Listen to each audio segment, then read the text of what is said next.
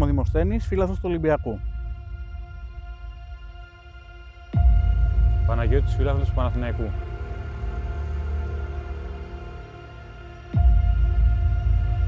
Γιάννης φίλαθλος ΑΕΚ. Τρεις φίλοι, τρεις διαφορετικές ομάδες. Ε, μια συγκινητική ιστορία, μια ιδιαίτερη ιστορία που ξεκινάει από πρωτοβουλία του Δημοσθένη και του Παναγιώτη που δηλώνεται συμμετοχή σε ένα διαγωνισμό του ΣΑΕΚ για τη φανέλα του Νίκλας Ελίασον ε, για να την χαρίσετε στον ε, κολλητό σας. Από ποιον ξεκινάει η ιδέα; Ήταν ε, μια δύσκολη περίοδος για όλους μας. Μετά από τον ε, χαμό του φίλου μας του Αντώνη, του αδερφού του Γιάννη, ε, και ο Γιάννης δεν ήταν ε, στις καλύτερες περίοδους που έχει στη ζωή του και έπρεπε κάτι να κάνω. Ε, η αγάπη του για την Nike είναι αυτή η οποία με όθησε σε αυτή την κίνηση. Ε, το σκέφτηκα, μίλησα με τη γυναίκα του, της είπα ότι καταλαβαίνω ότι είναι μια δύσκολη περίοδος που κάτι να κάνουμε. Σκέφτηκα αυτό να δηλώσουμε συμμετοχή στην κλήρωση, μήπως και κερδίσουμε. Ε, και το έκανα. Είτε- Ακολούθησα τη διαδικασία κανονικά. Έπρεπε να μπω στο Instagram, να ακολουθήσω την ΑΕΚ σαν Ολυμπιακός. Ε, δεν το ξέρω αυτό ότι είμαι Ολυμπιακός προφανώς, έτσι. Ήταν κάτι το οποίο το έκανα εγώ μόνος μου. Και έβαλα και τον αδελφό μου, του λέω αυτό θα κάνουμε, συμφωνείς; Ναι, μου λέει και αυτός, Παναθηναϊκός και ο Παναγιώτης. Και ακολουθήσαμε την ΑΕΚ. Κάναμε το σχόλιο που έπρεπε για να είμαστε στην κλήρωση. Και μετά από ένα διάστημα, περίπου ένα μήνα ήταν που διήρκησε, ήμασταν νικητές. Και σοκ, όπως καταλαβαίνετε, γιατί δεν περιμέναμε κάτι τέτοιο. Γιατί όταν δηλώνεις συμμετοχή σε μια κλήρωση, λες: Οκ, υπάρχουν πιθανότητες να κερδίσεις, μπορεί, ναι, μπορεί και όχι. Και μιλήσαμε με την ΑΕΚ. Μάλιστα ήταν ε, πάρα πολύ χαρούμενοι για το σκηνικό αυτό και μα- ο κύριος ε, Γιάννης Καραλής είπε και όλες ότι παιδιά έπρεπε να μας ενημερώσετε ότι είναι για αυτόν τον λόγο να μην μπείτε στη διαδικασία της κλήρωσης, να το κάναμε διαφορετικά, να, γιατί η ΑΕΚ ενδιαφέρεται για αυτά τα ζητήματα. Και ήρθαμε σε επικοινωνία και μετά από λίγο καιρό, λόγω του τερματισμού και του Ελίασον, πήγαμε στο Σεραφίδιο και μας δώσανε και την εμφάνιση. Αυτή ήταν το όλο story έτσι σε λίγες λέξεις ας πούμε. Παναγιώτης, εσύ πώς ένιωσες όταν ε, κερδίσατε τη φανέλα και θα κάνατε αυτό το ιδιαίτερο δώρο στο φίλο σας; Πολύ ωραία, δεν το περίμενα. Θεωρούσα ότι είναι απίθανο να κερδίσουμε ανάμεσα σε τόσους χιλιάδες που θέλαν τη φανέλα. Τη στερήσαμε βέβαια και από κάποιον φίλο της ΑΕΚ, έτσι πίστευαν στην αρχή. Γι' αυτό και όλες είχαν αντιδράσει κάπως σε μηνύματα κτλ. Αλλά εν τέλει πήγε στον καλύτερο, για τον καλύτερο σκοπό. Δηλαδή πιστεύω ότι και όλοι οι φίλοι της ΑΕΚ αν το ξέρανε και οι ίδιοι αυτό θα κάνανε. Γιάννη, κρατάς στα χέρια σου τη φανέλα που σου χάρισαν, που σου έφεραν οι φίλοι της, οι φίλοι της, ε, της η παιδική σου φίλη, η φίλη της καθημερινότητάς σου. Πώς νιώθεις, πώς ένιωσες όταν σου κάνανε αυτό το δώρο τα, τα φιλαράκια σου; Δεν το περίμενα. Ε, εντάξει, δεν ήξερα κάτι βασικά. Ε, η γυναίκα μου ήξερε που είχαν, απλά την είχε ενημερώσει ο Δημοσθένης. Εγώ το έμαθα τελευταία στιγμή. Μου λέει, πάμε μου λέει ένα απόγευμα κάπου. Λέω τι έγινε, πού θες, τα αυτά, δεν μου έλεγε. Τέλος πάντων πάμε, ξεκινάμε, πάμε προς τα Σπάτα. Μου λέει στρίψε προς τα εδώ, Μπαίνουμε, πάμε προς το προπονητικό. Εκεί δεν έχει και τίποτα άλλο. Το προπονητικό είναι. Λέω, τι γίνεται, ρε φίλε. Του λέω, πού πάμε; Τέλος πάντων, ε, μόλις το έμαθα, εντάξει, δεν το συζητάμε. Ήταν τεράστια η χαρά.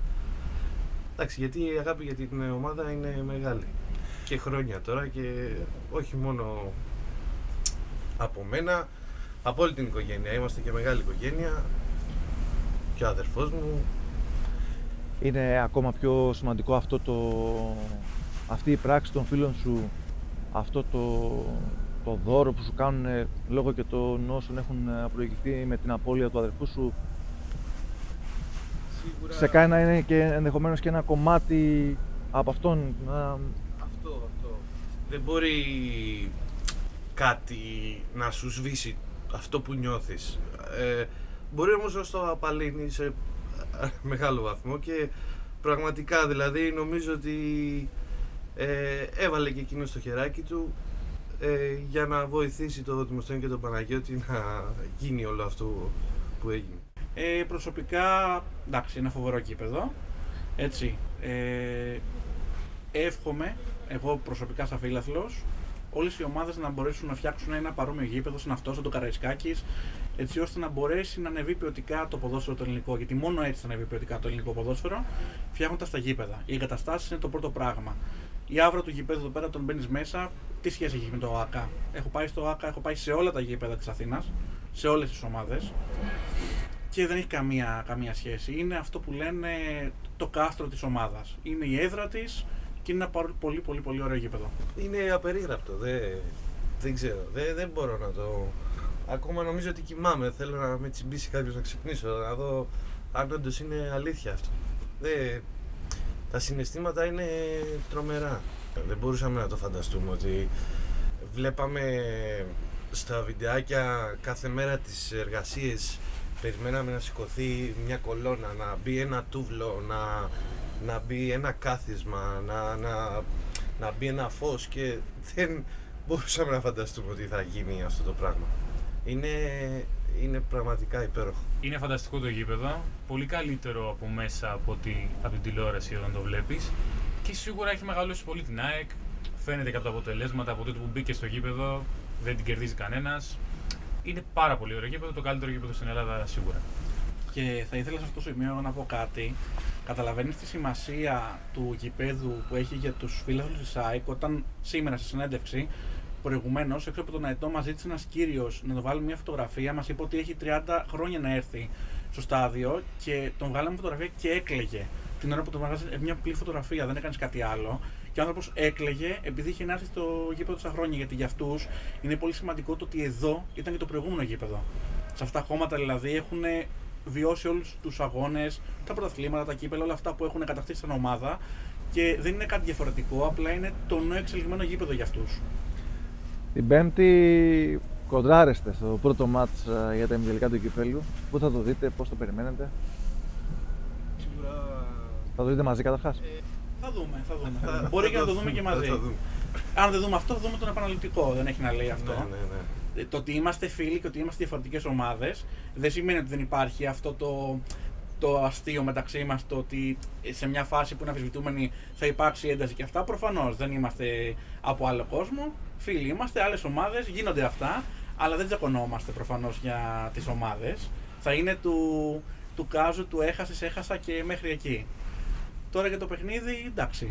Δύο πολύ καλές ομάδες. Η ΑΕΚ φέτος είναι σε καλύτερη κατάσταση από τον Ολυμπιακό. Ο Ολυμπιακός έχει μια πάρα πολύ καλή ομάδα που ακόμα ψάχνεται. Για εμένα είναι πάρα πολύ πιθανό να σιγούν τα πάντα. Εγώ νομίζω ότι η ΑΕΚ έχει ένα πλεονέκτημα και λόγω της κατάστασης που βρίσκεται και λόγω του γηπέδου.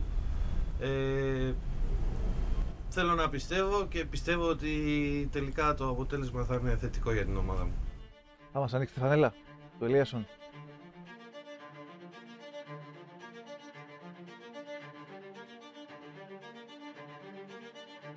Στο σπίτι που την έχεις, την έχεις σε, σε κάποιο σημείο, σκοπεύεις να τη βάλεις κάπου, να σου θυμίζει κάτι; Θα τη βάλω σε κάδρο σίγουρα ε, πάνω από το κρεβάτι. Να τη βλέπω όταν ξυπνάω και όταν πριν κοιμηθώ. Είναι το μόνο σίγουρο.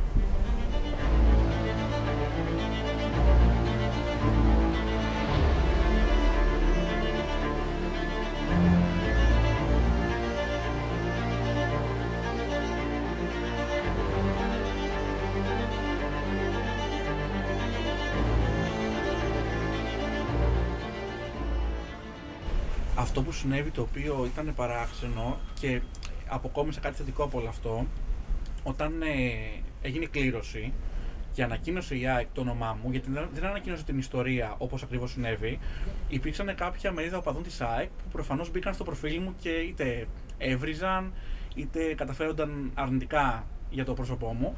Αλλά τι θέλω να πω σε αυτό είναι ότι όταν η ΑΕΚ ανακοίνωσε το λόγο και το οποίο μπήκα στην κλήρωση, ε, το 100% των φιλάθλων, ακόμα και ορισμένου από αυτούς που είχαν μπει και έβριζαν στην ουσία, είπαν τεράστια μπράβο και θέλω να πω ένα ευχαριστώ γι' αυτό. Γιατί τους τιμάει αυτή η κίνηση, δεν είχαν κανένα λόγο να το κάνουν και μπήκανε και γράφανε διθυραβικά σχόλια. Απλά θέλω να πω μόνο ότι δεν χρειάζεται να υπάρχει για όλα εξήγηση. Μπορεί απλά ένας φίλος του Ολυμπιακού να θέλει να κερδίσει μια εμφάνιση για τον οποιοδήποτε λόγο. Δεν χρειάζεται δηλαδή να είναι ΑΕΚ για να πάρει την εμφάνιση. Το ότι μετά ανακοινώθηκε ποιος ήταν ο λόγος, ήταν και ο λόγος που έπρεπε να συμβεί όλο αυτό. Η κίνηση που έγινε. Και όχι για να μάθουν οι φίλαθροι για να μην βρίζουν. Θα το έκανε έτσι και αυτό η ΑΕΚ. Αλλά παρόλα αυτά, ευχαριστώ πάρα πολύ τον κόσμο της ΑΕΚ που μπήκε σε αυτή τη διαδικασία να μου στείλει αυτά τα πολύ ωραία μηνύματα εκ των υστέρων. Δεν έχω να πω τίποτα άλλο. Εγώ είμαι λίγο. έχω χαζέψει το που βρίσκομαι και είμαι λίγο στον κόσμο μου τώρα. Εντάξει, είναι, είναι τα συναισθήματα. Θα ήθελα να ήταν για κάποιους άλλους εδώ, αλλά πιστεύω μας βλέπει σίγουρα.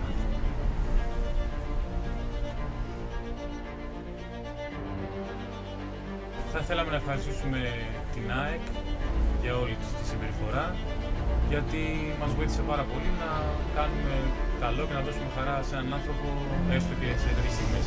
Αυτό.